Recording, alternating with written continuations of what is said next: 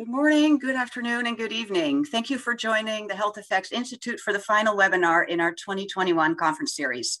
My name is Eliane Van Vliet, and I'm a staff scientist at HEI. I'd like to acknowledge Dan Crouse, Senior Consulting Scientist at HEI, who co-organized today's session, as well as all the staff who worked behind the scenes to put this webinar series together. Before we delve into today's webinar, I'd like to make a few housekeeping announcements. All attendees are muted for the duration of the webinar and questions will be reserved for the 25 minute Q&A and discussion at the end. You can submit your questions using the Q&A function at any time during the webinar, and you can also upvote questions in the Q&A function. Uh, please contact us in the chat box if you experience any logistical issues. And in case you've missed any of our seven previous webinars, all recordings will be available on our website within the next few weeks, and you can find the links to the recordings and slides there. And finally, to help us improve the webinars, please complete the post-webinar feedback survey, which will be emailed to you tomorrow. So today's webinar will focus on what has been learned about the health effects of long-term exposures to low levels of air pollution. Results will be presented from three HEI-funded studies conducted in large populations across the United States, Canada, and Europe. We have an interesting session for you today, and to lead our way through, it's my honor to introduce today's session chairs. Dr. Amy Herring, who is a Sarah and Charles, Charles Ayres Professor of Statistical Science and Global Health at Duke University and a member of HEI's Research Committee. And Dr. Sverre Vedal, Professor Emeritus in the Department of Environmental and Occupational Health Sciences at the University of Washington School of Public Health. He's also the chair of the HEI's Low Exposure Epidemiology Studies Review Panel. I will now hand over the mic to Dr. Herring, who will introduce the speakers. Thank you so much. It's very good to see you today, and I appreciate your joining. Uh, if we can go to the next slide. Uh, today's session will feature Robert O'Keefe from HEI, Dr. Daniel Braun of Harvard University, Dr. Tanya Christidis of Statistics Canada, Dr. Jie Chen of Utrecht University, and Dr. Sverre Vedal from the HEI review panel. As mentioned, you'll hear from these three speakers from the study teams. We'll hear commentary from Dr. Vedal on behalf of the review, and then we'll take questions from the audience. First, Bob O'Keefe will introduce the session and give some background on the set of studies funded by HEI to explore potential health effects at low levels of exposures. Bob O'Keefe has served as vice president of HEI for over two decades. He provides leadership for the Institute's major programs, including CORE, Global, and Energy, and leads the Institute's engagement with the US Congress and other domestic and international regulatory bodies. Prior to HEI, he served as Assistant Deputy Commissioner for Policy and Programs at the Massachusetts Department of Environmental Protection. He's currently a member of the US EPA Mobile Sources Technical Review Subcommittee and Chair Emeritus of the Board of Clean Air Asia. I'd like to welcome Bob now.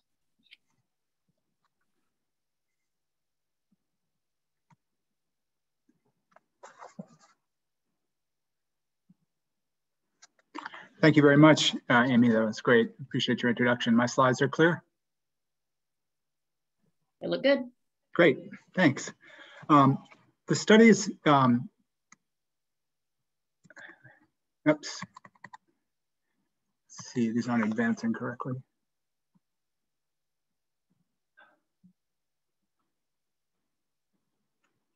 Let's see, there we go.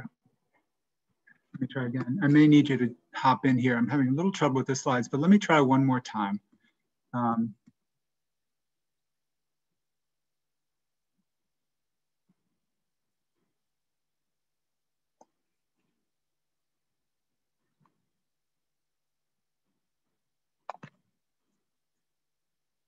No, my advancing is not working for some reason. Um, are you able to advance my slides? Let me try one more thing.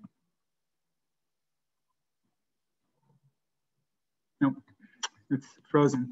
Um, are you able to advance my slides for me, please?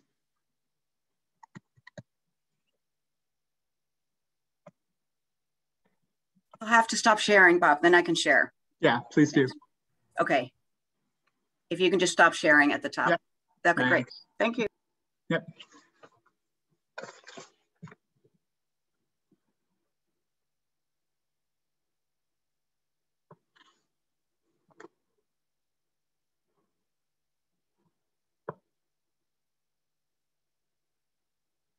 Thanks so much, Elian. If you could go to slide two, and I apologize for that.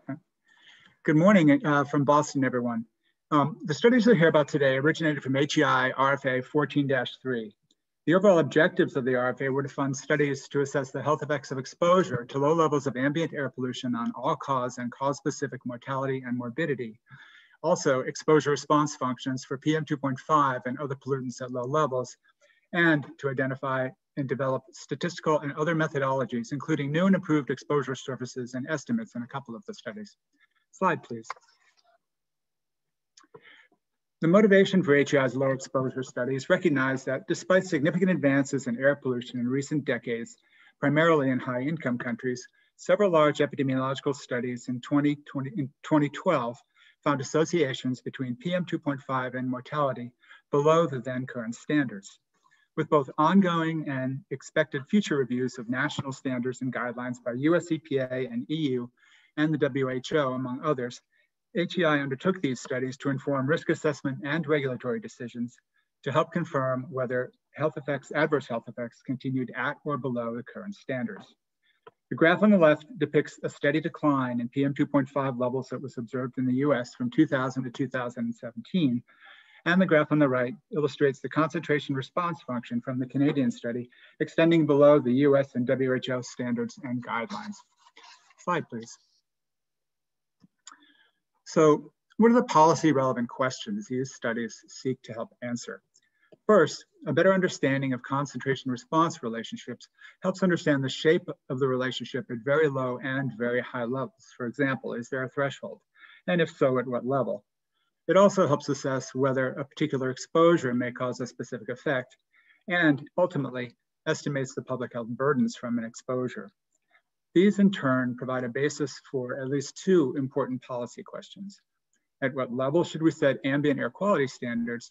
And to what level of exposure should we estimate public health impacts? Slide, please.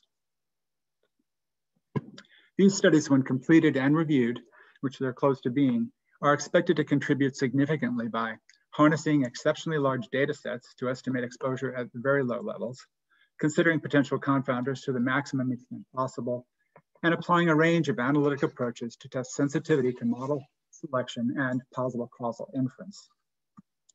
Slide. The three studies you'll hear about today were selected competitively, um, as are all HEI studies, and have several common and many unique features. Populations with millions in the United States, Canada, and Europe in both administrative and traditional cohorts. They relied on satellite data and ground level exposure measurements and high quality exposure assessments and models at high spatial resolutions. They also focused on development and application of the novel statistical methods needed to uh, conduct analyses in data sets of this scale. This is a map that'll be familiar to many of you. It shows locations of the three studies, obviously. Uh, first, the ELAPSE study by Bert Brunekreef, conducted in uh, University of Utrecht in the Netherlands, um, focuses on, um, was titled Mortality and Morbidity Effects of Long-Term Exposure to PM2.5, black carbon, NO2, and ozone. It was an analysis of European cohorts, including 28 million Europeans in, pooled, in pooled data from the 10 ESCAPE cohorts and six large administrative cohorts. The Harvard study in the US, led by Francesca Dominici, assessed adverse health effects of long-term exposure to low levels of ambient pollution and focused on mortality and morbidity. They had a total of about 60 million uh, participants uh, in America, including 28.6 elderly Medicare enrollees, 28 million uh, Medicaid employees, and an additional 15,000 subjects from the Medicare beneficiary survey with individual level risk factor data. The pollutants included PM2.5, NO2, and ozone again. The MAPLE study, led by Michael Brauer in Canada, he was from the University of British Columbia, focused on mortality, air pollution exposures in, in low income environments. And it included 8.5 million Canadians using Canadian National Census data and an additional 540,000 participants in a Canadian community health survey with more individual level data. The participants, the uh, pollutants studied there included PM2.5, NO2, and ozone.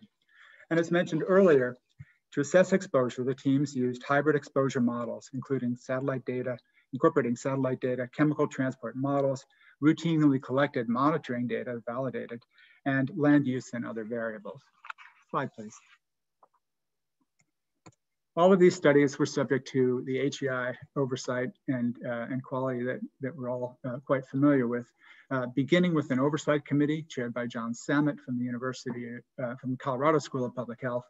And the teams were required to submit biannual progress reports, participate in webinars and meetings with the public and sometimes with sponsors, uh, and, and was subject to rigorous QA/QC audits.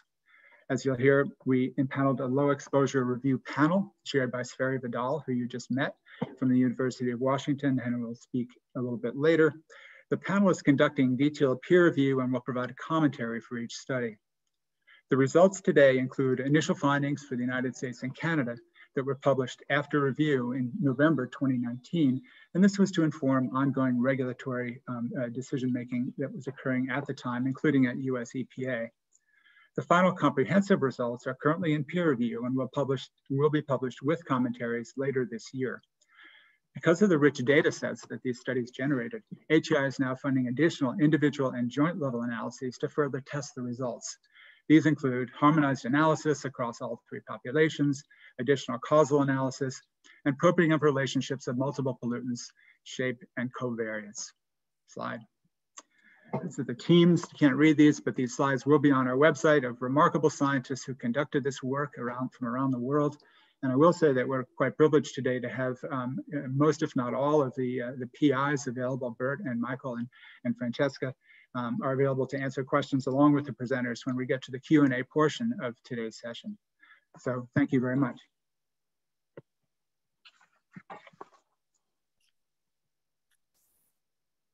Thanks very much, Bob.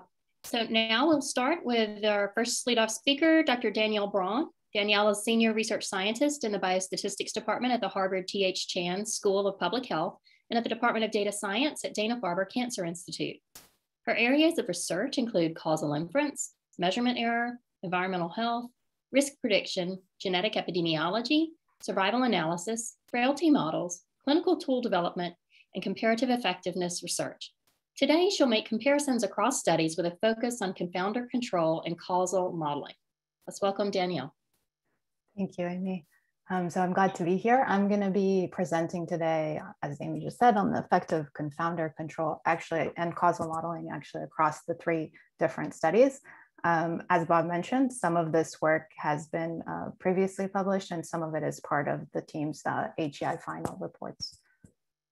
So just to introduce um, kind of the context. So all the three studies assess the health effects of long-term exposure to low levels of ambient air pollution, uh, PM2.5. So ideally, you would randomize patients to low or high air pollution, but that's not feasible. So um, all three studies actually relied on uh, our observational studies. They relied on claims data um, to do the analysis, but claims data have limitations due to the lack of randomization. So there are factors that may be associated with both exposures and the health outcome, like socioeconomic status, that may actually confound the exposure comparisons. So the challenges that um, we're gonna talk about today. So there are some challenges due to unmeasured confounders. Um, so uh, individual level covariates may confound the exposure comparisons. Um, some individual level covariates were missing across all three studies, just uh, because again, the studies relied on um, on claims data, um, but each team approached this uh, kind of and tried to overcome this challenge in a slightly uh, different way. And we'll talk through um, what each team did. And then uh, the second topic is how to adjust for measured confounders. And so oftentimes these con confounders are included as uh, linear terms in statistical models, but this could be actually sensitive to model misspecification. So we'll talk a bit about causal inference approaches that help, um, that are a bit more robust to the model misspecification. Okay, sorry, my slides aren't advancing. Okay, um, so the first study that I'm gonna talk about is the MAPLE study. Um, and so uh, the MAPLE study relied on two different cohorts. The first is the Canadian Census Health and Environmental Cohort, CanCHEC. Um, these are three census-based cohorts in three different years. Uh, they had 7.1 million respondents and 128 million person years. And so for this cohort, they had some individual level data and some um, contextual level data like uh, community size and neighborhood marginal, marginalization. And, and then they had actually a second, um, more detailed uh, data set from the Canadian Community Health Survey, CCHS. And so that data set actually had additional information about health behavior. So that had information on smoking, on alcohol consumption, BMI, and other um, variables. The inclusion was uh, individuals who are greater than 25 years old. Um, they were censored at 89. And then the outcome that I'm going to be talking actually throughout this talk today, um, we're just focusing on mortality. So they looked at non-accidental mortality. So the first thing that um, we're going to go over is different uh, covariate, different ways, uh, different covariates included in the outcome model that the MAPLE study considered.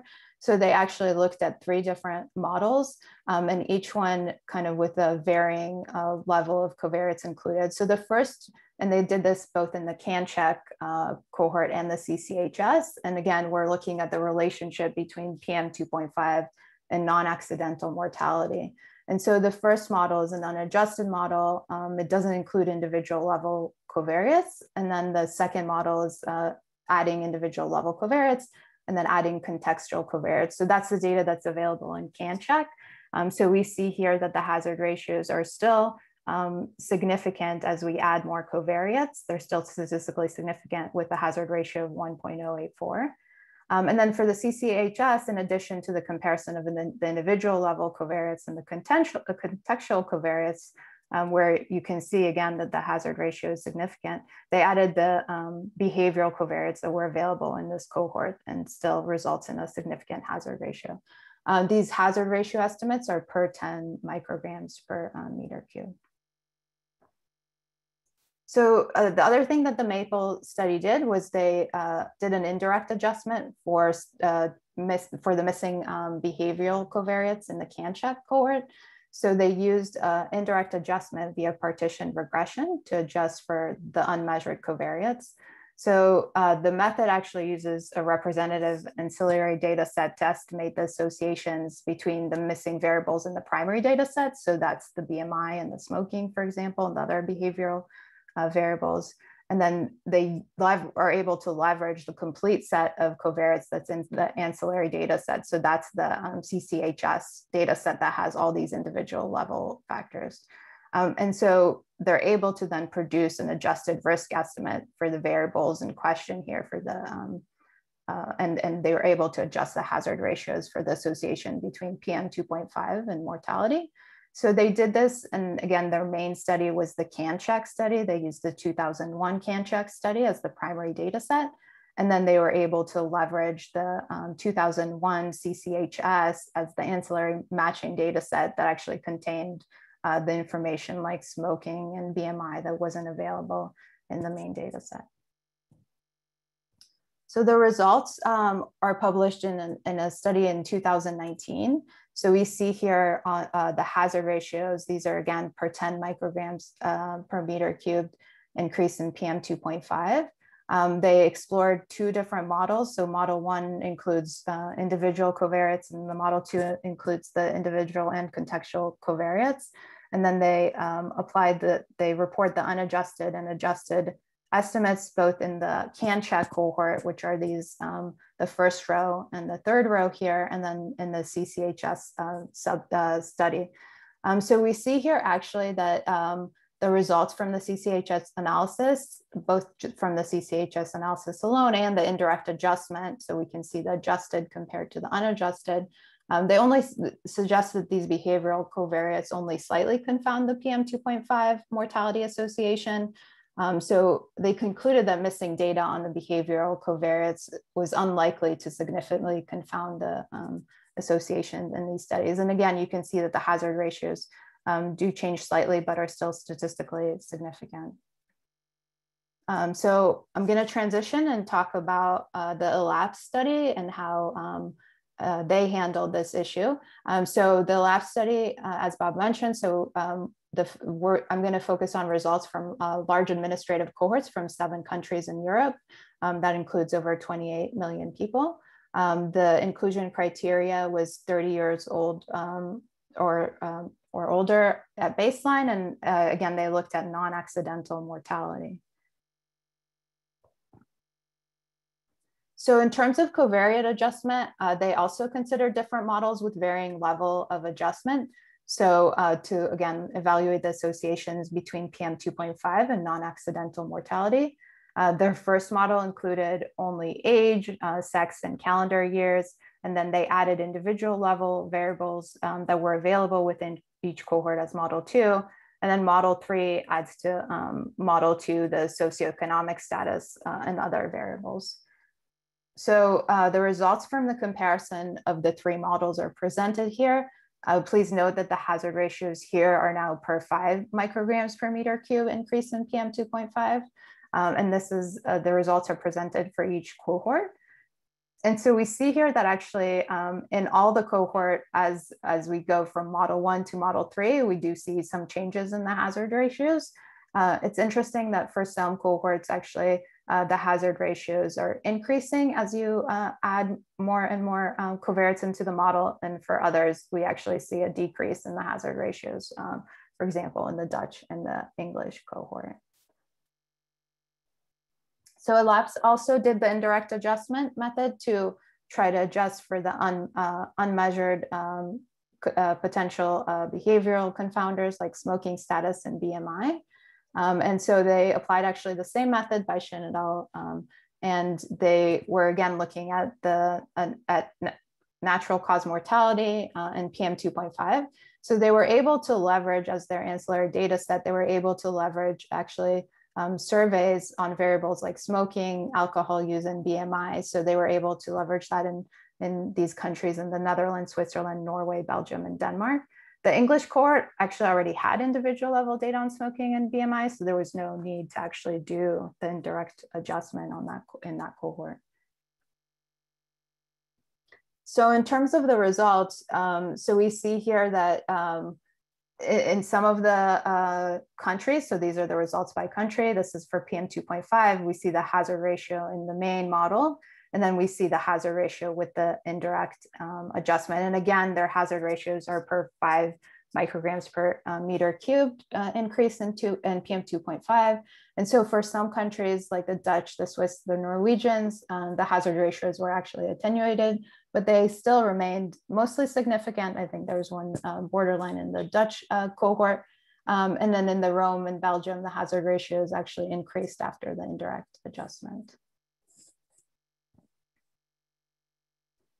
So uh, the third study is the Harvard uh, study using the Medicare data set. So um, we had data from Medicare, which is a national uh, health, uh, health, health program for um, individuals over 65 uh, in the US. Um, we have over 68.5 million observations. We were actually, we looked at all cause mortality. So compared to the other two studies, um, we had data on all cause mortality.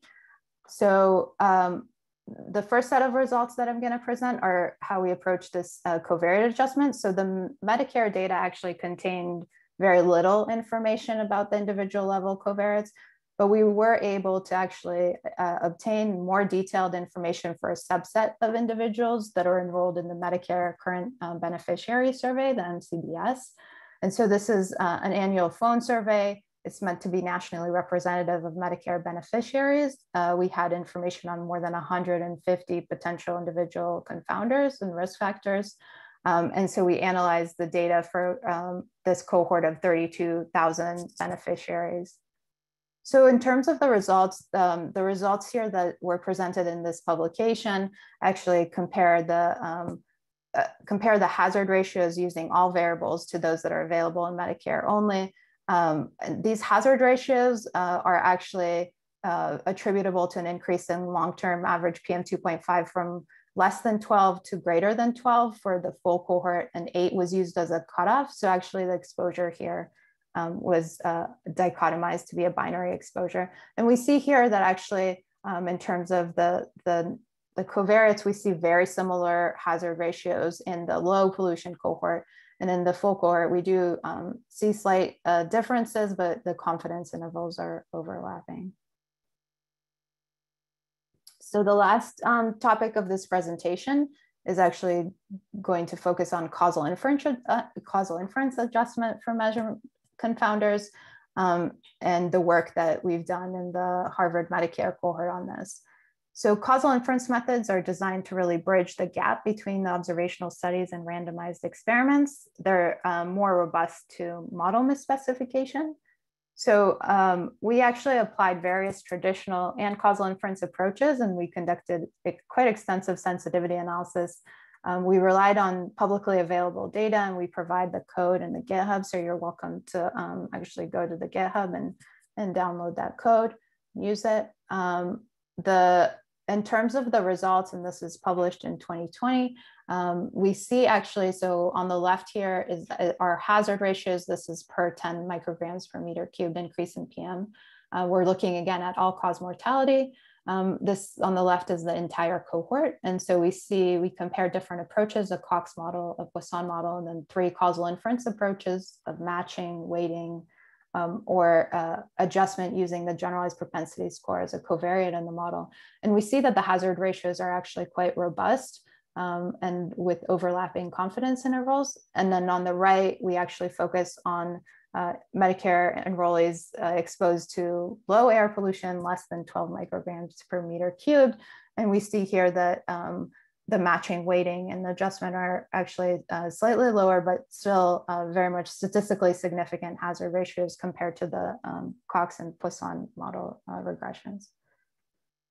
So one advantage of um, the causal modeling is it allows us to kind of assess the quality of the causal inference approaches that recovering the randomized experiments. And one way to do that is to look at um, and evaluate covariate balance for each confounder. And so the idea is that um, we have here the absolute correlation between PM and each of the potential confounders. And we have the unadjusted absolute correlation. And then after, after you match uh, in green or uh, weigh in blue, we're able to get, um, we're able to create a pseudo population. Once again, on that pseudo population, evaluate the absolute correlation. And so ideally, um, a, good, uh, a good causal inference uh, approach uh, creates a pseudopopulation that would have an absolute correlation here of less than uh, 0.1 for all the covariates. And we see that actually, indeed, like for um, the matching is able to achieve that uh, for almost all of the covariates, um, and even weighting does quite well. So um, this kind of gives us a sense that we that we were able to um, to create a pseudopopulation that's meant to mimic um, again the randomized control study. So just to conclude, um, so all three studies had some missing data on the behavioral covariates. Um, they're unlikely to significantly confound the PM mortality relationship. Uh, in the Medicare cohort, we used the five different approaches and all of those led to similar hazard ratio, which is um, great and shows that kind of the estimates are robust. Um, we provide the GitHub code, so um, these estimates are reproducible um, and really uh, provide evidence on the causal link between PM and mortality. So in terms of ongoing work, so as Bob mentioned, like all, all three teams are working on a harmonized on harmonizing the analysis. Uh, we're working on harmonizing confounders and models across the data set. And then in addition, the ELAPSE and the MAPLE team are actually working on apply, applying the causal inference approaches that I described today. And just acknowledgement. So um, as you all know. So this work was um, funded by the Health Effects Institute. So thank you. Thanks so much, Danielle. We really appreciate such a clear and informative presentation. Uh, I see a couple of questions already in the Q&A. Please keep those coming and we'll address them in our discussion time at the end of all the presentations. So today's next speaker I'm happy to introduce is Dr. Tanya Christidis. She works as a research analyst at Statistics Canada's Health Analysis Division in Ottawa. She's worked extensively with the cohorts that are used in the MAPLE project, including in data validation, knowledge translation, and the creation and analysis of environmental exposure cohorts to examine the relationship between a variety of different outcomes and exposures. Her PhD research examined risk perceptions and health impacts related to wind turbines, and she previously worked as a student researcher at the Public Health Agency of Canada, exploring risks related to foodborne, environmental, and zoonotic infectious diseases. Today, she will share work comparing different concentration response functions in these studies. And now I'll turn it over to you.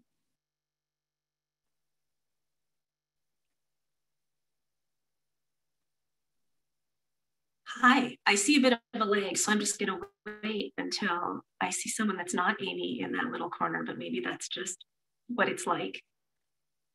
Uh, can Amy, can you, see the me? slides? Yeah, I can see you and the slides. Okay. Well, I'll just stare at your face then. so thanks for that introduction. Um, so in this presentation, I will be discussing the relationship between exposure and outcome and how it's been modeled in these three studies. I will go through the linear models, the concentration response functions, and then briefly how these relationships um, exist at the lowest exposure levels. Next slide. So first things first, what do linear models tell us? So in the chart, you'll see um, the results of the most comparable linear models between our three projects. These are the fully adjusted models from our administrative cohorts um, with varying uh, classifications of mortality. And I've also included the person years.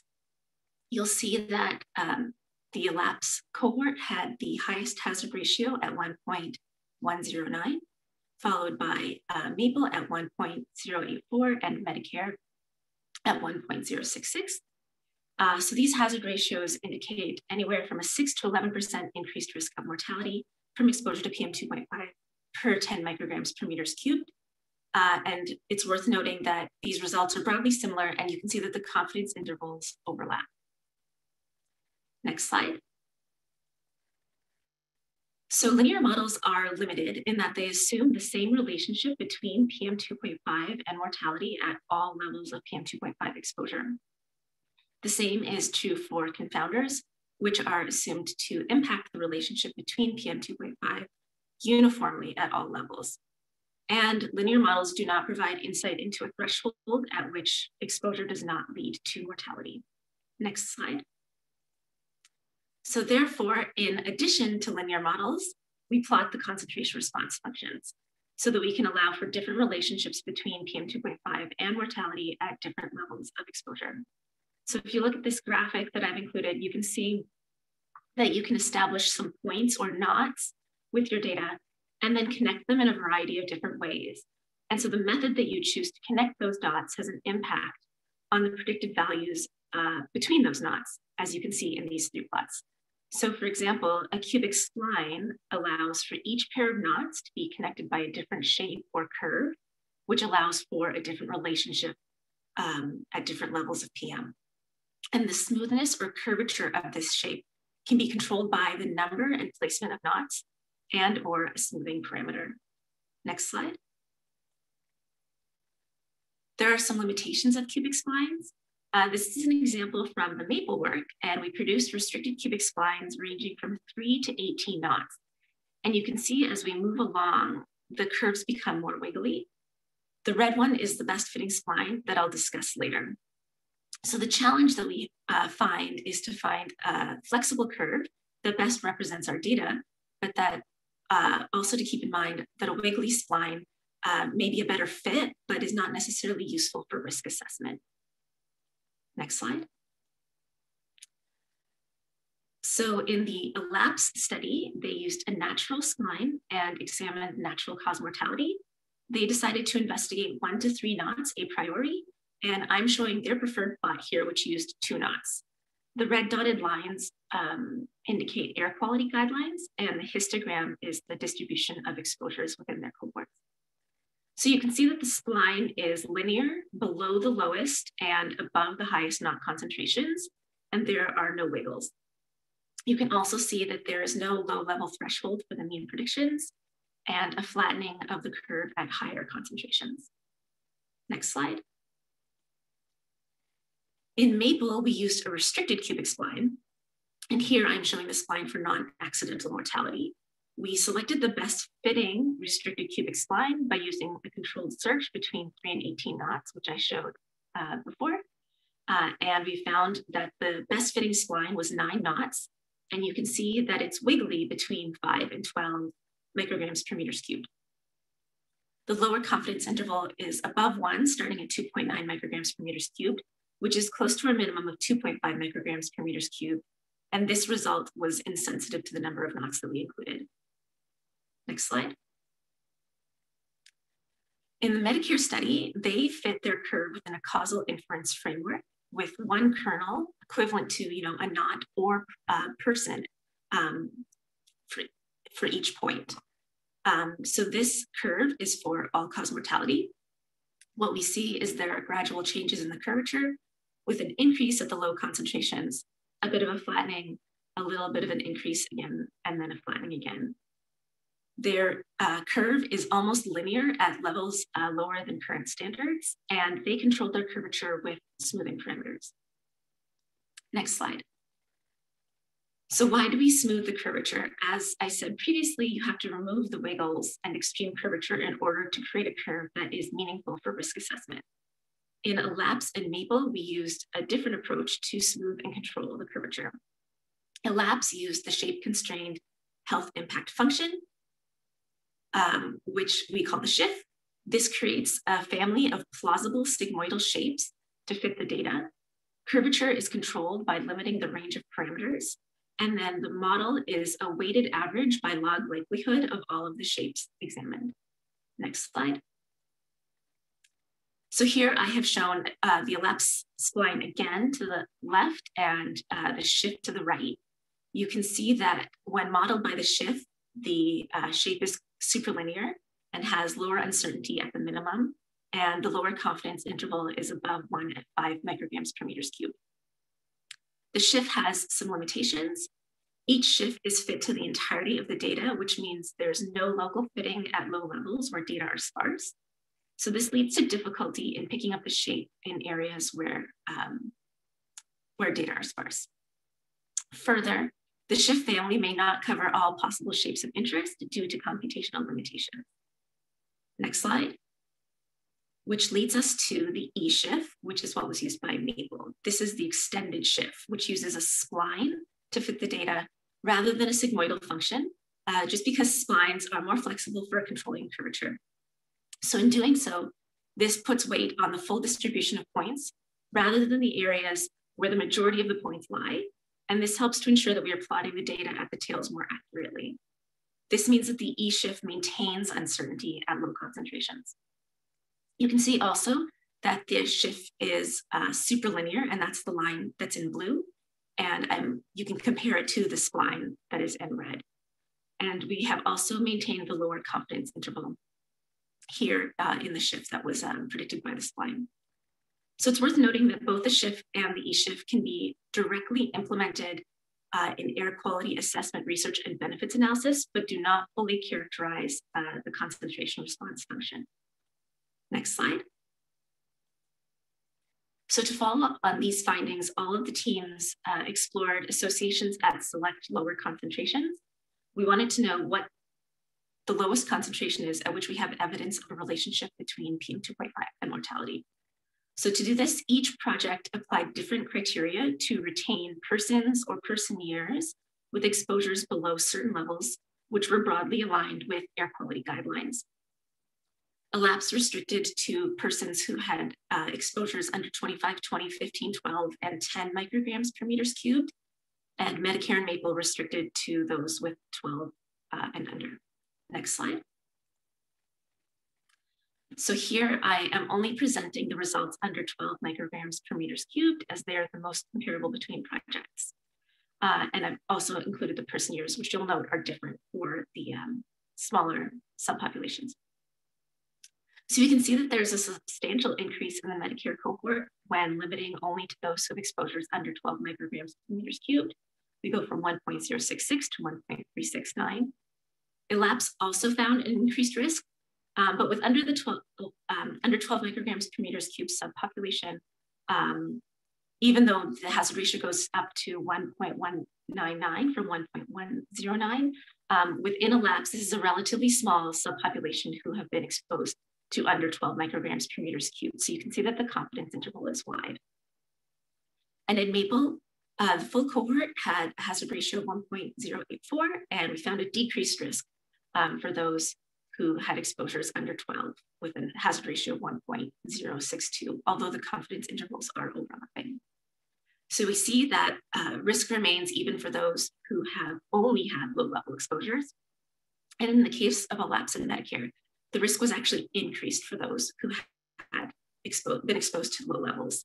Uh, and it should be noted, of course, that there's high uncertainty in these subpopulations. Next slide.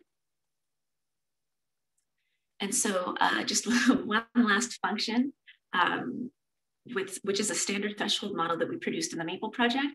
Uh, this is a standard threshold model uh, with thresholds from 2.5 to 10 microgram per meters cubed by increments of 0.5. The linear models that we produced were weighted with an ensemble weighting function. So we weighted all the models by log likelihood. And you can see that most of the weight is in the range of 2.5 to 3.5, and the fit decreased as the threshold increased, as seen by the widening confidence interval.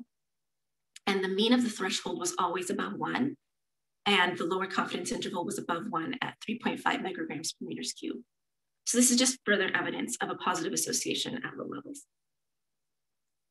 Next slide. So to summarize, there is evidence for the PM2.5 mortality association at low levels in all three studies. The MAPLE and ELAPSE concentration response functions were superlinear with the steepest slope at low levels and a plateau at high levels. This indicates that with increasing concentrations, the marginal changes in risk appear to decline. The Medicare function was near linear and indicated aggravated effects at all levels of PM2.5. So the main conclusion is that positive associations between PM2.5 and mortality are observed even at the lowest levels. Next slide. So moving forward, as Danielle mentioned, each team uh, will try to do some harmonized work together. So we will all be using the eShift, uh, using our administrative cohorts only, limiting to those who are age 65 plus. We are going to harmonize our covariates as best possible and use the same PM 2.5 exposure, uh, MAPLE version 2M, and we will all examine um, the same mortality classification. Uh, next slide. That's it. Thanks. Thanks so much, Tanya. I really appreciate your presentation and I uh, see a question or two about it and we'll get to those again at the end of the session. Please remember to use the Q&A feature rather than the chat to uh, track your questions so that we can keep track of those ourselves and make sure we get to all that we can. So now we'll move to our next speaker, uh, who is Dr. Jie Chen. Uh, Jie is currently doing her postdoctoral research at Utrecht University. She's been working as the project manager of the ELAPSE study. Her research focuses on air pollution exposure assessment and air pollution epidemiology. She was also a member of the systematic review team working for the update of the WHO Global Air Quality Guidelines under the supervision of Dr. Gerard Hoek. Dr. Chen will produce, will present results from multi-pollutant analyses. And so I'll turn it over to you, Jie. Thanks, Amy. Um, so I hope you can see my slides. Um, Looks so great. Going, yeah, thanks. Okay. Uh, so I'm going to present the results from multi-pollutant analysis in these three projects. Most air pollution epidemiological studies have focused on single pollutant research because it's easy to conduct and interpret. Um, but in single pollutant models, it's not clear whether the observed association reflects the effect of the analyzed pollutant or if it acts as, as a surrogate for another pollutant possibly originating from the same source. And as the human body is exposed uh, to multiple uh, air pollutants simultaneously, uh, the single the single pollutant models cannot characterize the complexity of the exposures and their health impacts. So the limitations of single pollutant mo models uh, lead to the shift towards uh, multi-pollutant approaches. One of the objectives of the multi-pollutant analysis is to estimate the independent effect of a single pollutant in the presence of other pollutants. And still, there are a number of challenges uh, in interpreting results from multi-pollutant analysis. For example, uh, in conventional linear regression models, the results will be highly unstable when incorporating two or more pollutants that are highly correlated and the different measurement errors of different pollutants uh, adds to the complexity of the interpretation because uh, the pollutant with the highest measurement error may show the most consistent associations in multi-pollutant analysis. And in most uh, statistical models, pollutants are treated symmetrically, whereas in reality, um, uh, air pollution can be divided into groups based on their emission sources, and some pollutants are precursors to others. And uh, ideally, the inclusion of multi-pollutants uh, in a statistical model should be supported by biologic um, mechanisms from other disciplines, such as toxicology. So in this presentation, I will share some experience in interpreting results from multiple pollutant analysis uh, in these three projects. So I'll first start with the MAPLE, the results from the MAPLE team. And the MAPLE uh, investigated the associations between uh, mortality and long-term exposure to PM2.5.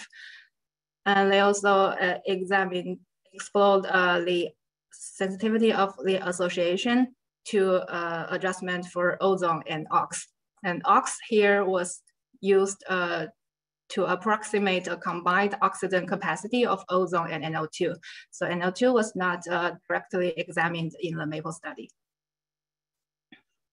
This table shows the associations between PM2.5 and non-accidental mortality uh, and in single pollutant models, we can see that the effect, uh, the associations between uh, PM2.5 and mortality eh, are similar in the stack CanCHEC cohort and in the CCHS. And in two pollutant models with adjustment for ozone, uh, the association attenuated. And with adjustment for OX, the association between PM2.5 and mortality further attenuated. And in CCHS, the uh, hazard ratio reduced to unity. But in, uh, in these uh, regular two pollutant models, the oxidant gases were included as linear terms. So the MAPLE team uh, further performed stratified analysis to examine uh, the association in, in the tertiles of, of the oxidant gases. So here we can see that uh, in all the tertiles of ozone, we observed uh, significantly positive association between PM2.5 and uh, mortality. And uh, the significantly positive association for PM2.5 was only limited to the highest tertile of OX. And if we look at uh, the uh, exposure surfaces of the oxidant uh, gases, so this is ozone and this is OX, uh, we can see a clear spatial uh, variation in the uh, exposure distributions. So the difference uh, in the observed association in different uh, in, in the tertiles of the oxidant gases could be explained by the spatially varying health impacts of PM2.5. So the MAPLE teams uh, observed the strongest association between PM2.5 and mortality in areas with higher oxidant gases, and the observed impact of oxidant gases on, on associations for PM2.5 likely reflects the spatial variations uh, in atmospheric processes or sources that can impact the toxicity of overall air pollution mixtures and not a direct biological impact. We'll continue with um, results from the ELAPSE study. So in ELAPSE, we uh, investigated uh, exposures to PM2.5, NO2, black carbon, and ozone. And we performed two pollutant linear models for all combinations of these four pollutants. This table shows the results from the uh, pooled cohort. So here we can see that in single pollutant models, we observed um, significantly positive associations for non-accidental mortality with uh, PM2.5, NO2, and black carbon. And in two pollutant models with adjustment for other pollutants, uh, the association attenuated. Uh, but um, the, the, associations uh, remained significantly positive, except for the hazard ratio for black carbon adjusted for NO2. Uh, this is uh, more difficult to interpret because uh, the because uh, both NO2 and black carbon uh, reflects emission from traffic and other combustion sources. And the uh, correlation between these two pollutants uh, is high in this study. And this is also reflected by the substantially wider confidence interval compared, compared to the single pollutant estimate. And uh, for ozone, we observed a significantly negative association in single pollutant model. And in two pollutant models with adjustment for other pollutants, the association attenuated but uh, remained statistically significant. And this table shows the results from seven administrative cohorts by meta-analysis. So again, we observed significantly positive associations for uh, non-accidental mortality with PM2.5, NO2, and black carbon. And with adjustment for other pollutants in two pollutant models, uh, we observed uh, attenuations in the association for PM2.5, and especially after adjustment for NO2, the uh, hazard ratio for PM2.5 attenuated uh, to unity. And for ozone, the associations uh, remained robust in two pollutant models. And for uh, black carbon, uh, here the same story after adjustment for NO2. And for ozone, we observed a significantly negative association in the single pollutant model. And in two pollutant models, the associations uh, attenuated uh, and become insignificant. So in ELAPSE, we observed uh, associations for non-accidental mortality, not only for PM2.5, but also for NO2. The hazard ratio for PM2.5 reduced with the adjustment for NO2 cannot be simply interpreted as an artifact uh, related to um, multicollinearity because uh, the correlation between PM2.5 and NO2 is moderate, and the width of the confidence interval only modest, modestly increased uh, in two pollutant models compared to a single pollutant model. And uh, the observed NO2 association may reflect the direct effect of NO2 or correlated combustion-related particles, such as ultrafine particles. And the reduction of the PM2.5 hazard ratio not imply that the particles had not effect in our setting because uh, adjustment for NO2 also adjusted for particles from the sources shared with NO2, including motorized traffic and other fossil fuel combustion sources. And the differential uh, measurement error may also explain the more robust associations observed for uh, NO2 in, uh, in pollutant models. So in, then, then in Med Medicare, um, they observe, um, they investigated uh, long-term exposures to uh, PM2.5, NO2, and ozone. And in an earlier publication, they uh, reported results from two pollutant uh, linear models uh, with PM2.5 and ozone. And here we can see that the, uh, the in single pollutant models, the association with all-cause mortality uh, are significantly positive for both PM2.5 and ozone. And in two pollutant model, with adjustment for the other pollutant, uh, the, the association uh, attenuated uh, slightly for PM2.5. And the um, Harvard team also applied uh, the GPS matching method to uh, estimate the causal exposure response curve for air pollution and all-cause mortality. So here the plots in the left panel shows uh, the results from single pollutant models. And the plots in the right panel shows results from the multi-pollutant models uh, adjusting for the other two pollutants as uh, uh potential confounders. So here we can see that the exposure response curve for PM2.5 are almost uh, linear. And after adjusting for uh, other two pollutants, the, the causal impact of PM2.5 uh, attenuated slightly. And the exposure response curve for uh, NO2 is not, are not uh, linear. And adjusting for the other two pollutants uh, elevated uh, the, the, the health impact of NO2 because the, the um, Y scale is Uh, the scale of the y-axis is different in these two plots. And for ozone, uh, the increased uh, hazard for ozone is observed uh, for exposures higher than 45 ppb. And uh, the exposure response curve is not sensitive to the adjustment for the other two pollutants. So in summary, uh, the statistical methods applied uh, and the pollutants examined are different, are slightly different uh, in uh, the three projects. Um, and the three um, projects consistently uh, observed attenuated associations between PM2.5 and mortality after uh, adjusting for other pollutants. Uh, but when interpreting the results, uh, some factors should be taken into account. Um, uh, for example, the spatial variation of the exposure distributions and the emission sources uh, of the pollutants and the correlations between pollutants.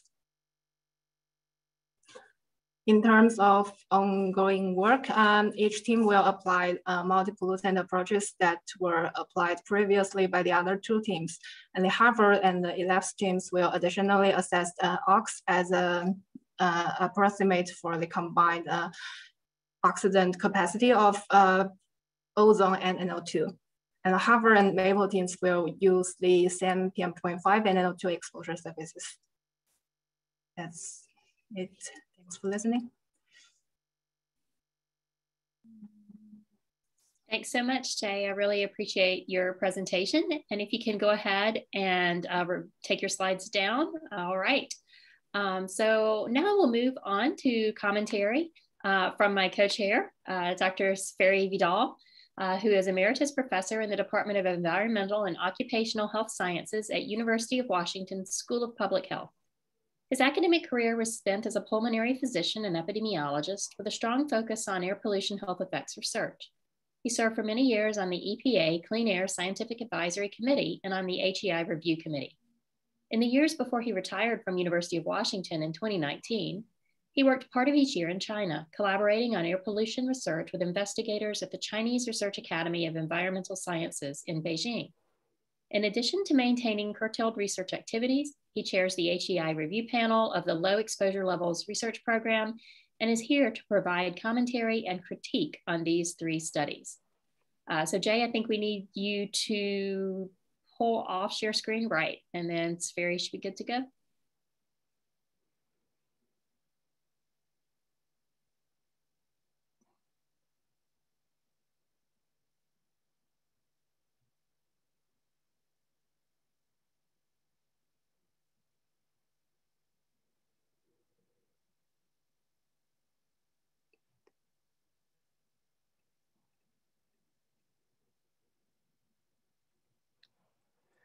Thank you, Amy, and uh, good uh, good uh, good morning to everyone. Um, is that uh, Mary, are you able to put this in full screen mode? I, am um, tr I'm tr I'm trying. I, I uh, hold on, hold on. Okay, I got it. I got it. Perfect. There it is. All right. Um, so I am going to make some selected comments about the about the studies that you've heard about. Uh, I've made a I have a, a list here of of uh, some observations that I made two years ago when I made uh, a report from the review panel uh, on this set of studies and some of the earlier work. And a lot of it still pertains. Uh, the first one is the issue of the plausibility of low uh, level effects. And at that time, I made the point that our, our Bayesian uh, priors were probably pretty low and they've probably been nudged up a little bit here in the, or maybe perhaps more than a little bit in the, in the ensuing two years. Um, should also understand that it's likely that there are fewer people that are susceptible to dying at low concentration. So we have, as you see in these three studies, lots and lots of data. But one of the issues that one is faced with with lots of data and eh, data, and it's it's uh, a problem that's been faced by these investigators, is that the quality of the data sometimes deteriorates as the size of the data set increases, uh, and other approaches have been needed in order to enhance the quality of the data. In these particular instances, the information on important covariates. Um, you've been uh, you've been presented with a lot of new uh, and advanced statistical methods uh, applied in novel ways uh, to this area. And then, um, and then finally is the issue of causal modeling, which is rearing its head here. And uh, I, I posed the question the last time um, whether this was in fact a revolution in the way we uh, assess observational data, or is it just another way, another addition to our toolkit uh, for handling confounding. And I'll circle back to several of these as I continue. You heard about the three studies. We're now in the uh, at, in the final uh, report stages uh, that are in various stages of completion. Some are pretty much finished. Uh, and the three topics for today you've heard about: multi-pollutant modeling, control of confounding, including causal modeling, and then the issue of concentration response functions. I'm going to go through each of those three themes um, with respect to each study.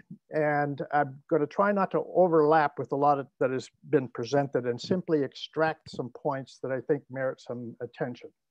So first of all, uh, I'm going to talk about the multi-pollutant modeling uh, issue uh, that you heard about. Um, all of the, uh, and, and start first of all, with the MAPLE study in Canada, um, all of the studies have essentially used uh, additional data um, to uh, on covariates, um, and and have also predicted uh, particle or pollutant concentrations at varying degrees of spatial resolution. So here in Canada, PM 2.5 was predicted at a one by one kilometer uh, spatial resolution nitrogen dioxide at a 100 by 100 meter spatial resolution. And then ozone and oxidant uh, pollution at initially at 21 by 21 kilometers and more in the more recent years at 10 uh, kilometers. One of the more, the marked, with respect to multi-pollutant modeling in, in MAPLE was the marked attenuation of the PM 2.5 effect uh, by both ozone and the, their oxidant uh, metric uh, and then uh, substantial effect modification by the oxidant gases with the association essentially being strongest at the higher, um, higher levels. Um, one of the issues that this raises, and it's, it's, raises, it's raised with all multi-pollutant modeling is, is uh, what it actually means to control for other pollutants. And the example that really rears its head with respect to ozone as well as oxidant gases. And you heard the characterization of, the, uh, of this association or this effect as not a direct biological impact of the oxidant gases themselves. That is, it's not, the, the argument there is that it's not reflecting actually the effect of ozone um, uh, on, um, as a confounder of the uh, PM association. And, and this is, this is mo motivated uh, in some part, to some degree, at least by what we know about the very uh, tenuous link between ambient concentrations of ozone and, uh, and exposure uh, to ozone. In, uh, in ELAPSE, you heard about the two large cohorts the predictions in, in ELAPSE were at a fine spatial scale. So all of the pollutants were predicted at uh, 100 by 100 uh, meters. Uh, one thing to keep note of in ELAPSE is that very few uh, of the countries that are included in these cohorts had what we would consider to be low concentration. So for example, Norway in the administrative cohort, uh, Stockholm and Sweden uh, in the pooled cohort. Again, we see marked, moderate attenuation of the PM um, uh, association in one of the cohorts, and a very uh, much more marked uh, attenuation in the administrative cohort. You also heard that the NO2 association was not affected by inclusion of co-pollutants and the, and the uh, issue of ozone uh, as a negative uh, effect, that is lower hazard ratios with increases in ozone remained essentially negative with adjustment for co-pollutants. One of the issues to consider is, is, is this attenuation due to confounding by these co-pollutants. That is, do, can we take this as at face value? And I, I alluded to the, to the issue earlier is that uh, it may not be an issue of, of confounding by co-pollutants and may reflect some of the things that were that were brought up in the in the presentation about differential measurement error and other issues, or the fact that they're actually reflecting something about atmospheric processes and aren't really uh, measuring uh, impacts of the pollutants themselves. The issue of ozone and the negative association is sort of an example of how these sorts of issues rear their head and make it difficult to interpret uh, those types of uh, effects. In the Medicare, you'll heard that one of the unique things about Medicare, it is limited to the older population. All of the three pollutants were estimated at the one by one kilometer scale, but they were averaged up. So they're averaged up to zip code. So the actual spatial resolution to which they are applied in the analysis is often quite a bit bigger than one by one kilometer. Um, the PM 2.5 association was robust to ozone. Um, and this is this is wrong. this is um, uh, this was a, a result of uh, the previous what I saw for the previous work. Um, in fact, the uh, when both of them are included, there is attenuation of the PM 2.5 association. Uh, the NO2 and ozone associations uh, were largely unaffected with adjustment for PM 2.5. And, and in contrast uh, to other, the other studies, the ozone effect is, is positive here, uh, not negative issues that this brings up is the uh, are, are, are the spatial scales uh, of the various pollutants, both in terms of the concentrations and in terms of the predictions, which we have to keep in mind in being able to make sense of these findings. The last point is, is moot at this point because of uh, an error in the earlier, earlier uh, slides. Now, confounding, I first start off with maple, and I'm being very methodical and mechanical here, and I'll try to blast through this relatively uh, quickly. You heard that confounding was addressed by adding uh, linear terms, linear co term covariates to the models, um, and uh, making use of smaller cohorts that had uh, more extensive data on covariates that were missing in the larger data sets in order to enable an indirect control for this, these sets of confounders. Uh, importantly and reassuringly, there was a minimal impact of adjustment for these added variables. Um, but uh, one of the one of the uh, findings that uh, that you heard about in the MAPLE study was the fairly substantial variation in hazard ratios by region. Um, so um, one of the issues that we're then faced with, what does this mean? Uh, is this residual confounding perhaps, or is it is it actually the case that there is variation in PM toxicity uh, across uh, Canada depending on the pollutant mix? The issue of uh, of the effectiveness of the indirect control for missing confounders um, is an interesting one, one that we need to uh, perhaps address, although all the investigators that have done this have done something to try to validate uh, this approach to including uh, this larger array of confounders. In ELAPSE, again, confounders were added uh, to models. Um, in stages, as was done in the MAPLE study. And again, an ancillary, ancillary data were used for additional uh, confounders.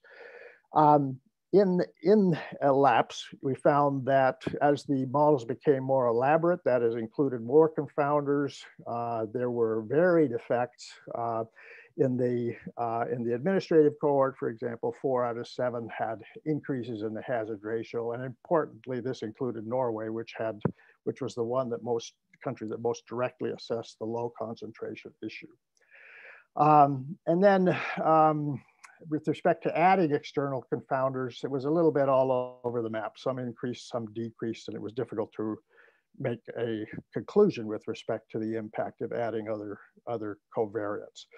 Um, again, the issue of addressing the indirect adjustment uh, is an interesting one. In the Medicare data set, again, also used ancillary data to provide data on uh, missing confounders. And this is the only, as you heard, the only study of the three so far, uh, which used causal inference methods. Uh, the findings were that PM 2.5 effects were essentially insensitive to the traditional approach to controlling confounding. And that was largely also the case when results from the causal inference uh, methods were, uh, were, were shown. Uh, although there was some um, attenuation of effects using the causal inference method at low concentrations, which is of more direct interest to us here. Um, the issue of the causal modeling is is is controversial, and you and I'll come around to that just in a, in a bit as to as to how we should uh, interpret uh, or weight them. Uh, there are advantages that we heard about in terms of, of, of relaxing a lot of issues and concerns about model specification uh, and others, but there are assumptions that they make. And then there are um, there are uh, uh, well they they, they essentially require data on measured confounders if they don't handle unmeasured confounding, which can be an issue. And, and uh, although the, the, the uh, Harvard group did address the issue of unmeasured confounders in their, uh, in their work, which is, which is um, using something called an E-value, which I won't go into further, but needs uh, further assessment.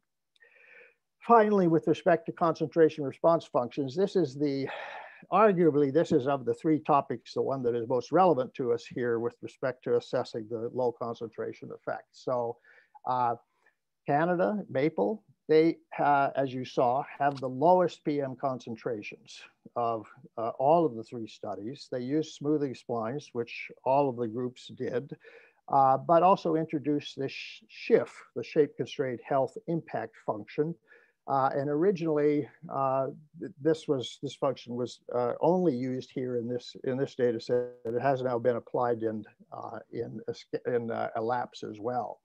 Uh, the last point is not correct. They did do restricted analyses to at low concentrations, although perhaps not necessary given that Canada has such low concentrations to begin with findings were that you saw that there's a superlinear association, that is steeper at low concentrations, uh, flattening out at higher concentrations.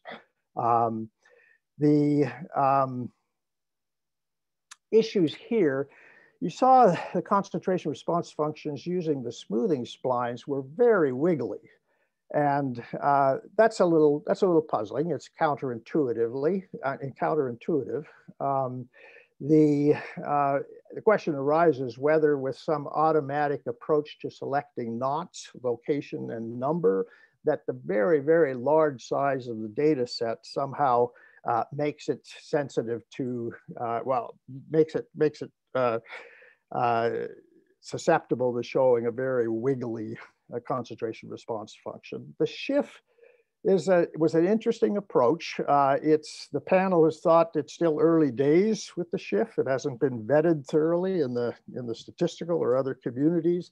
One of the puzzling issues that you saw in the in the in the uh, the presentation were the, that the confidence intervals were narrowest at the lowest concentrations and then fanned out, which is problematic. I mean, we don't normally uh, say, see that, and and and it's uh, in the sense that normally we see wider confidence intervals at low concentrations and high concentrations where there's less data. So how to interpret these confidence intervals is a is a challenge. And then there's the issue of flattening at the higher concentrations. Um, you know, these higher concentrations are not very high where it flattens, and and many of you, of course, will will recall that the sort of bread and butter work on air pollution and PM epidemiology was at these higher concentrations where we were seeing lots of associations. So the flattening is a little, is, is different. Uh, all right, uh, and then concentration response functions in Europe are also a smoothing spline. They, they apply the SCHIF later. They observe the superlinear association with flattening. Uh, and I've talked about the issue of flattening uh, before. One issue unique to ELAPSE is you've got different countries and the different countries have different concentrations. And so an issue to consider is how much of the shape of the concentration response function is, is just contributed by one country after the next as the, as the concentrations march up. So for example, the part contributed at low concentration in the administrative data set is weighted by Norway. Uh, so is it something peculiar about Norway that uh, weights that shape of the concentration response function? Finally, Medicare used a used also smoothing uh, and restricted uh, to low concentrations as, as an assessment of uh, of the low concentration effects. Uh, as opposed to the two other studies, their concentration response function was described as being pretty linear. That is not clearly a superlinear relationship, although, although the, you saw that the effect estimates, the hazard ratios at concentrations less than 12 were quite a bit larger than those less than 12. And so one wonders whether uh, why that concentration response, response function doesn't really adequately reflect uh, that observation. Um, in summary then, with respect to multi-pollutant modeling, uh, there was evidence for confounding by co-pollutants, but the issues of interpreting multi-pollutant models, even two pollutant models, are, are still with us, are problematic, and have not been resolved that is still open to interpretation. We have the issue of different spatial scales, both of predictions and of the concentrations themselves. Um, and then the issue of ozone has reared its head here as to how to interpret ozone effect estimates and also how to interpret effect modification by ozone. Uh, and that is still, I think, an unresolved uh, issue. Uh, confounding control, uh, we saw there was some evidence that, or good evidence that the associations persisted with a lot of control for confounding. Um, the, we have now introduction of indirect methods to assist uh, in the quality of the data, that is the data that we need for being comfortable that we've got adequate covariate control or control of confounders. Um, we all want to conclude or exclude uh, whether the associations are causal or not. And we want to do that using traditional approaches. We've always tried to do that. That's, we say we're looking at associations, but our true interest is really in cause and effect. Uh, how do we weight findings from uh, causal inference methods? Those of you who were around for the synthesizing evidence session, the HEI session a few weeks ago, you heard one end of, of the, the spectrum on how this is observed, uh, this is characterized, which is basically that this is just one other way in which we can approach the issue of addressing confounding. Um, as opposed to uh, what has been argued that we've now we're now getting closer to a, a true experimental study as opposed to uh, observational studies. That is, we're, we're pretty much revolutionizing our approach to handling observational data.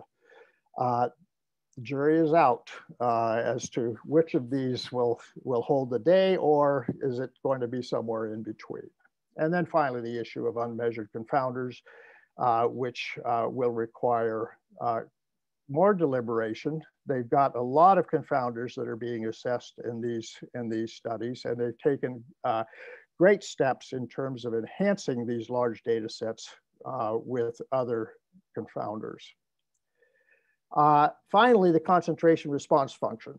There are three approaches to sort of addressing low concentration effects. Uh, one is, and you've, you've heard them all, one is by restriction, that is just looking at uh, effects at low concentrations only, modeling the concentration response function, that is the shape, and then, and then finally a, a threshold analysis where you compare models um, that assume a threshold with models that don't assume a threshold.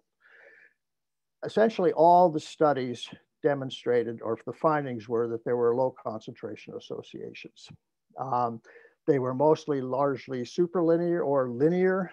Um, we often hear the, the notion that this indicates that there's most potential for harm at low levels, which for many of us is a difficult pill to swallow. Uh, it may not be so difficult if you consider a couple of things. Uh, one is the uh, just sort of a thought example.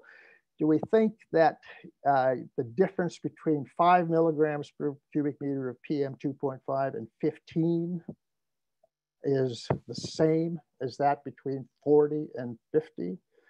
And, you know, I think not. And that, that notion there may, may help in terms of understanding this apparent uh, superlinear association. Toxicology has been a very little help in the area of low concentration effects.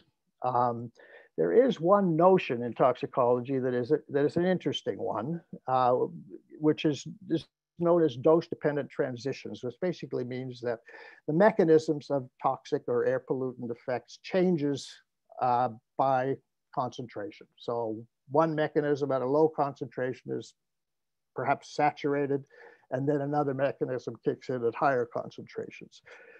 Um, so there may be a way of trying to understand this from a mechanistic, uh, a mechanistic perspective. And the issue of SCHIF needs to be uh, uh, more thoroughly assessed. Uh, and then finally, the third way of assessing low concentration effects has been threshold models. And, and essentially, we didn't see a lot of those results, but essentially the threshold models did not fit any better than the non-threshold models, um, uh, arguing that uh, the, the linear or superlinear characterization of the function is, is probably reasonable. With respect to the review panel, a um, couple of things. Uh, we're in this. We're in the process of completing commentaries cur currently um, of the three studies, and then finally, uh, we are going to pen an integrative synthesis of all three studies, uh, assessing many of the of the themes that we've discussed here today. Thank you. Thank you very much. At this point, I would like to invite all our panelists to turn on their cameras uh, for the Q&A. And in addition, we'll welcome the PIs of the three studies, uh, Drs. Brauer, Brunekreef, and Dominici. I'll give them a minute all to pop on. And for those of you who still have questions, please do um, keep putting those in the Q&A and we'll be watching that as we go on. All right, so we, I'll kick off with a question uh, that was asked by Chad Bailey of the US EPA, and he directed it to Tanya, but really it's a question for all of our speakers. And the question is, what's the quality of exposure assessment at the lowest exposure levels? For example, less than three and a half micrograms per cubic meter. Um, more generally, how did the different research groups evaluate their exposure estimates at these low levels? And how similar were the methods for low level exposure assessment across the three groups?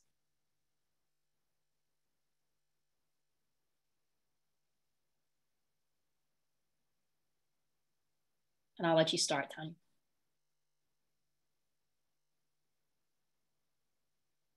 Uh, can I defer to, to Mike Brauer on this one?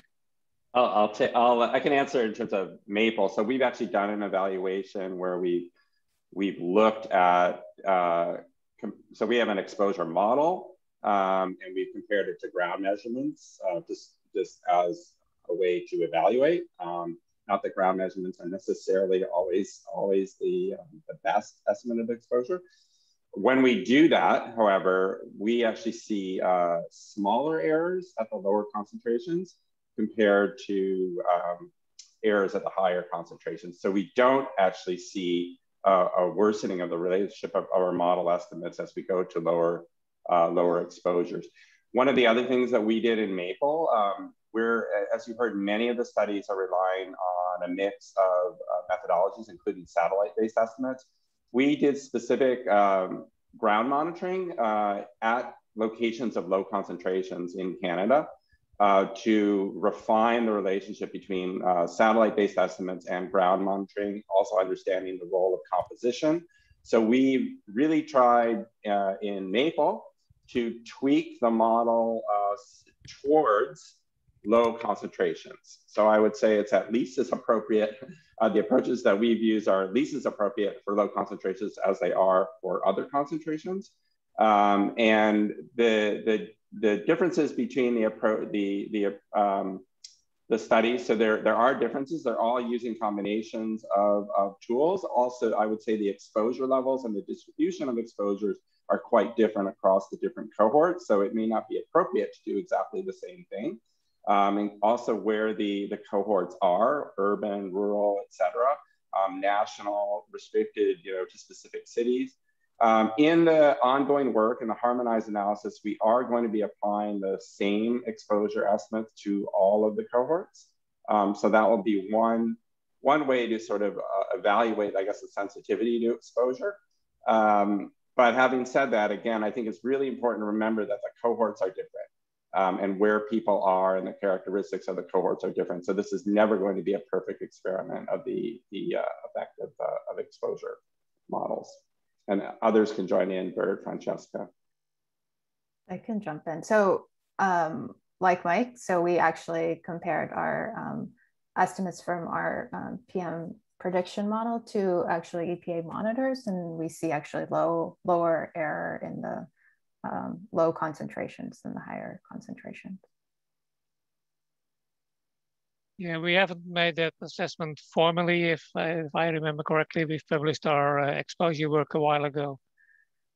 And uh, we've extensively validated against ground, ground level uh, monitoring with a whole holdout validation techniques, etc.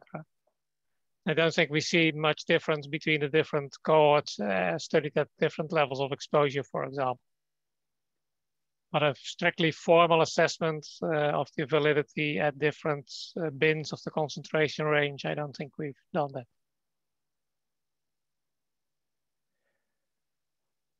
Um, Amy, uh, I think I'll, there was a couple, a couple of questions addressing the issue of measurement error as it relates to the, the very important issue of the shape of the concentration response function, one by David Bussard, and uh, and and Lianne Sheppard as well. So David Bussard said one of the arguments heard about the shape of the dose response curves is that epidemiology can have errors in exposure measurements that might yield a more linear dose response relationship between the imperfect estimates of exposure and the data on health responses, even if the health effect were highly uh, nonlinear or even if there were a threshold. Uh, for PM, there might be an argument that even if the threshold for responses to individual chemicals that are part of PM, the multiple chemical specific threshold might result in a smooth response as a mixture. So he would be interested to hear thoughts about uh, how the work informs whether either of these occurs in the EPI studies of PM, that is the measurement error uh, resulting in uh, a linear relationship when their fact is, is a, a, threshold and also perhaps the issue of a multi-pollutant uh, effect or, or, contribution of PM that results in linearization of the, of the, uh, of the response. And Dr. Sheppard, Lianne Sheppard said she's interested in a more full discussion of the rationale for differential measurement error in these studies. maybe I can start and comment on some of the work that we've been doing on measurement error, which um, we have doing quite we have been doing quite a bit on it. So um, we did uh, apply a regression calibration approach to um, to try to adjust for the measurement error uh, essentially the regression calibration model was fit um, on the EPA monitors, and we were able to then predict quote true concentrations for the entire U.S. Uh, well, for New for New England was in our publication, and now for um, we've expanded this to the entire U.S. as part of ongoing work. Um, the estimates so far have been um, robust to uh, to the adjustment, which is good and still statistically um, significant. Uh, and then we we have a whole actually another grant on uh, kind of uncertainty and trying to uh, potentially ensemble different uh, exposure models to see if that can um, kind of help in terms of get um, even more robust estimates for the exposure. And then we do have ongoing work um, in, in a couple of areas, both from um, a Bayesian modeling perspective to really try to propagate actually the uncertainty that we do see all the way through um, from the exposure estimate all the way through into the outcome model. So it's something that has definitely been on our mind and um, research that we are excited about and is kind of ongoing and I think is, is important and um, hopefully we'll have public more publications soon. So I don't know, Francesca, if you want to add to that or before we. No, I think okay. I think I think you said it all. Thank you, Danielle. The difficult question is what the gold standard is to assess measurement error in these uh, studies. And we've done a couple of projects in, in the past uh, using personal monitoring in small groups because you can't do personal monitoring in large groups to try to establish the correlation between the estimates that we use in the EPI for the outdoor studies and the personal monitoring. But uh, you know, is for the cross for the um, spatial uh, contrasts, those correlations tend to be not all that high because the spatial contrasts are not all that high. So small errors in the measurement of the gold standard can easily produce uh, low correlations between the data you use in the EPI and the personal monitoring results in the panel studies that we did. Uh, together with the Harvard group, we did do some regression calibrations, but especially when these correlations are small, you can easily find, you know, five-fold inflations of the regression coefficients or the effect estimates after adjusting for measurement error that way. And we've been very hesitant to see that as uh, a better assessment, a better estimate than the one that we get from using the outdoor concentrations alone. I'll just just add we we've done a couple things also to sort of look at this uh, maybe a little bit differently. One of the things we did was looked at at different uh, basically spatial uh, resolutions of our exposure model. So you can you can imagine, for example, um, I think people would like to think that, that the more precise uh, spatial resolution, the better, but people are actually mobile.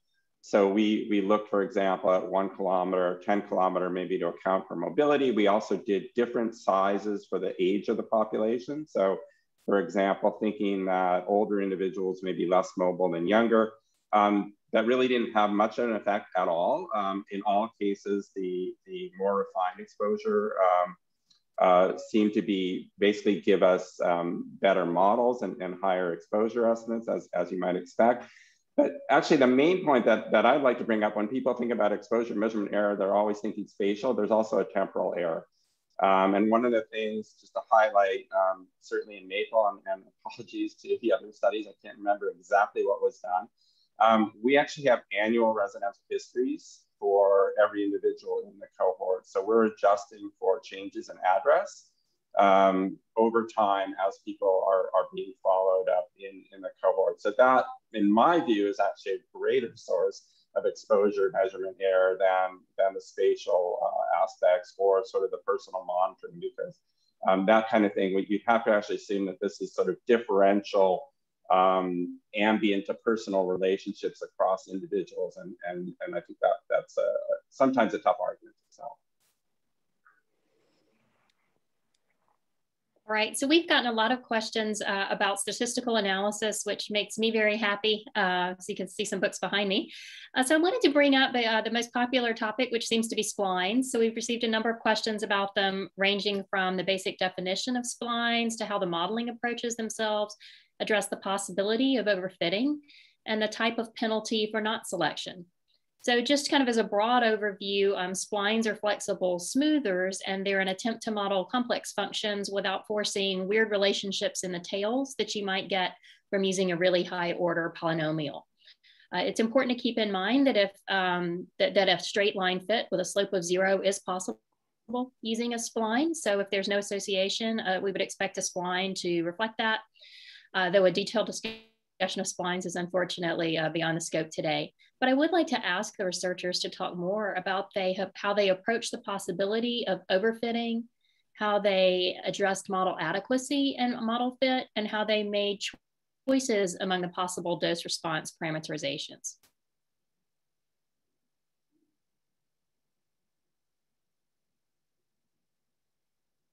Who'd like to start? Okay, I'll pick on Francesca. I was actually I, can take this. Take it, to Danielle, but yeah. I could take it as to some extent. So I think it's a really good question. I think it's it's really challenging, and um, we have been actually diving more and more into the exposure response modeling in, in recent months. And especially as a side note, we've been doing some analysis by subgroups, which has been really interesting, but it, it kind of raised, it, it's, it seems like modeling choices may be even more sensitive when you start looking at, at certain subpopulations, say uh, racial, different racial groups. So, so it's definitely something that we've been thinking a lot about recently. Uh, I, I have just one comment on maybe on, related to kind of the multi-pollutant aspect of this modeling. So um, for, for us, like we, we ended up including the other pollutants as actually terms in our generalized propensity score model. So um, they're not actually in the outcome model, which I think helps kind of might help with the overfitting. So uh, I just wanted to point that out, but I, I think it's challenging. I, I, the more like personally, the more I dive into it, the more challenging I realize the modeling is. So. So if I could also just quickly comment, I think we also been paying extremely amount of attention of thinking about causal modeling in the exposure response function. Yeah. Actually thinking about to uh, match individuals at different level of exposure. And so I also want to comment a little bit about, you know, some of the statement as Sverre made. I mean, in terms of whether causal inference is a revolution, well, I wanted to point it out that causal inference has been around for over 25 years, and there have been over 45 books, as much as I know, that have been reading on causal inference methods. So I do think that, you know, the inability to implement some of these causal inference methods should, given, should not given license to criticize. There has been an enormous um, you know, um, group of statisticians that have been spending the last 20 years of how to approximate an observational study into a randomized trial. Are they perfect? Not. Are they better? I think yes. And also I wanted to correct about a statement, which is, you know, just basically wrong, that causal inference method cannot just for a measure confounding. I think that causal inference method and some of the methods that we have done in peer reviewed and many of other colleagues do adjust for a measure confounding, including a recent publication of George Worth, which used difference and difference estimation. So I do think I'm not the strongest advocate of causal inference methods, but I do think that we need to recognize the level of sophistication and modernize. And I think it's time for, for environmental epidemiology to embrace the fact that these methods have been around for, for a very long time. And so I think that in terms of addressing the question of causal modeling and exposure response function, with causal modeling and adequacy of, of, modeling assumption, we can, we can actually assess whether or not the measure confounder are indeed balanced at different level of exposure. And that I think is you know, has been chosen a much more robust approach to adjust for measure confounding in the context of flexible exposure response.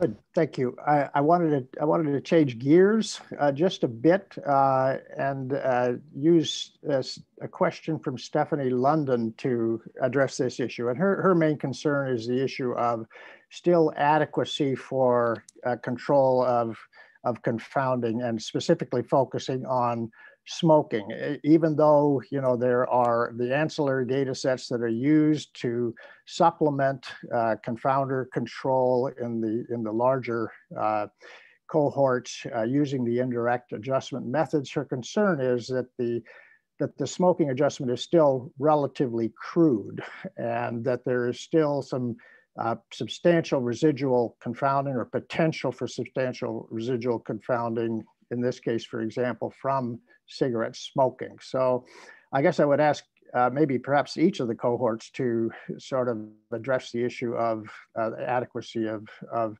say, control for smoking, which is such an important predictor of mortality. So first of all, uh, can I just quickly reply? I mean, let's let's also keep in mind again. I think there is an, there is really a misunderstanding here what is a confounder and the distinction between what is a confounder and what is the predictor of the outcome. And I think after 20 years, it seems there is still confusion on that. So smoking is indeed a very strong risk factor for mortality. But the fact that smoking is a, is a confounder has to be related to inhalation of outdoor exposure to pollution. And so far, data have not provided strong evidence that there is a relationship that you know, between smoking and exposure to pollution. So I am actually quite surprised that after all so long, including making comments about causal inference, there is still misunderstanding of what is a what is a confounder. Having said that, I think what we have done is we have used data from the Medicare current beneficiary survey that use individual level smoking and to assess whether or not smoking is a confounder. So whether or not there is a strong uh, evidence that people that are smokers live in more polluted area. And that is actually not, not, not clear, including you know, doing an, doing full analysis that just for smoking. And so that's, I think, also why I think there is still a lot of confusion and misunderstanding of what are really the important issue. Good, thank you. A few um, um remarks uh, on that as well, I think. Uh, the, the relationship between smoking and air pollution varies from time in time and it varies from place to place. So you can't just say that if you have not adequately adjusted for smoking that you have a problem in the sense that you're overestimating the air pollution effects. And I think as was remarked uh, by some today, seeing the uh, effects of the indirect adjustments going in different directions in the, in the, the six uh, ELAPSE cohorts actually speaks to that, I think if I remember correctly, Mike, in the Canadian study, you also see, uh, you know, effect estimates moving from uh, null or even negative to, to positive after adjustment for more and more potential confounders, which is opposite to what most people think it will happen if you do adjustment for uh, potential confounders. In ESCAPE, we actually, which is now a while ago, we actually did see that uh, adjustment for smoking did make a difference. So it was uh, for most of the endpoints, it was very important to, to look at that. We also noted that it's much more important when you look at lung cancer than, than to most of the other endpoints because smoking is such a big risk factor for lung cancer. So there you may, may go wrong more easily. And, and that's why we, in, in ESCAPE, for example, we restricted our analysis to cohorts which really had very detailed information on, on smoking habits uh, when we addressed uh, lung cancer. And finally, um, most of these cohorts are looking at smoking also as an effect modifier. And in non-smokers, smoking is hard or impossible to be a confounder. So, you know, focusing on what happens in non-smokers, lifelong non-smokers is, is an important argument. And that's the majority of the population in most places that I know of. An important argument to, to look at when you think you run into discussions about whether or not these associations are to a large extent explained by smoking. These are just a few observations which I think are important. That's excellent. And I, am aware that our time uh, has almost gone. Uh, just like at a regular in-person meeting, uh, we, we do have some time maybe uh, for one more question and, and, push the schedule a little bit. And so I wanted to pick up on uh, David Spink's question about thresholds. Um, and so in particular, he said based on the results, it seems like maybe there's a, a no effect threshold um, in the range of two to three micrograms per cubic meters for PM 2.5, but no threshold for NO2. So can people comment uh, on that?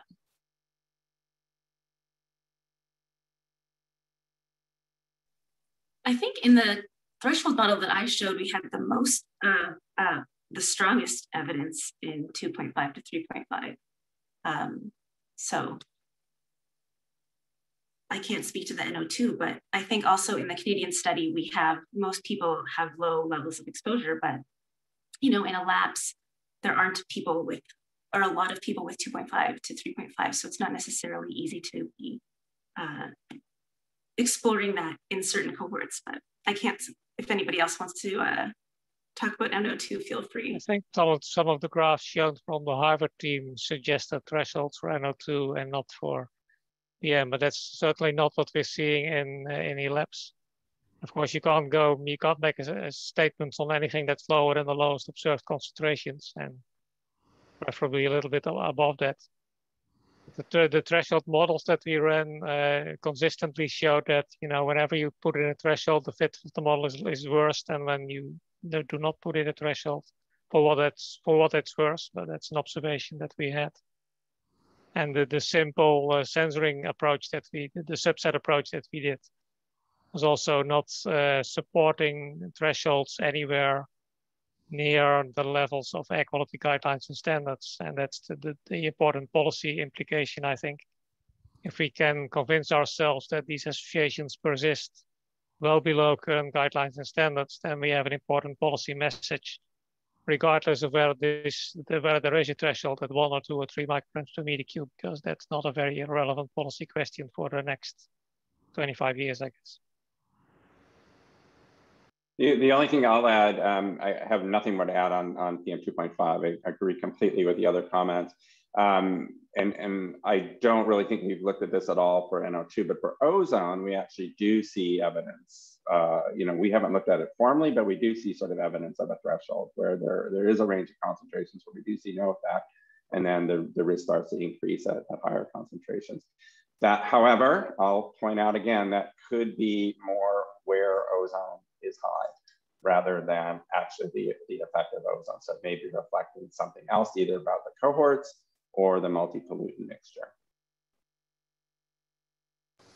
I, super quick, I just want to say this is a really important question. We are doing additional work to um, try to quantify evidence of threshold and, and quantify evidence of where the threshold is going to be in the Medicare study, doing a Bayesian version of um, doing a Bayesian estimates of the derivative of the exposure response curve. So just because of that, this is such an important topic. That's great to hear. And it sounds like uh, even though we're coming to the end of our session and of our studies, there's still a lot of work for people to do. Uh, we really appreciate our speakers and their work on this important topic. And now I will turn things back over to Eleanne van Vliet. Thanks very much, Amy. Um, okay, I'm not able to share the screen. Um, in any case, uh, in closing, we want to thank the speakers and chairs uh, for this thought-provoking session on health effects from exposures to low levels of air pollution. Um, and please visit our website to find recordings and slides of this webinar and all our previous uh, in the series. And also to help improve our webinars, we'd be grateful if you could complete the post-webinar survey, which will be emailed to you tomorrow. Um, we want to thank all the attendees from all over the world for joining us today for our final webinar in our series. And we really hope you'll join us next April in Washington, D.C.